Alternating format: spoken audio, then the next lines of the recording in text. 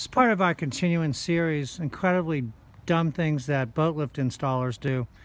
Here we can see that the pilings were not hammer driven and the lift sank incredibly far.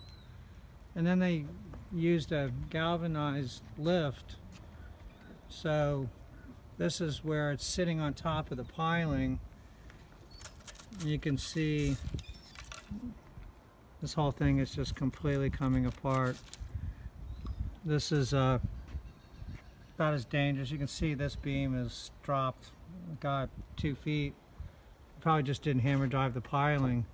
And these pilings are so worm infested. I'm just barely touching the lift right now. You can see what it's doing. This would qualify as an incredibly dangerous boat lift. Thank God no one has a boat on it right now. I don't know if the video does it justice to just how far this thing dropped. Dangerous. Silly.